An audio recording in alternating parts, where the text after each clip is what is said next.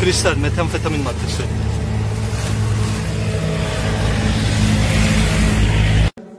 Uyuşturucu ve muhafaza altına alınarak iki şüpheli gözaltına alınmıştır.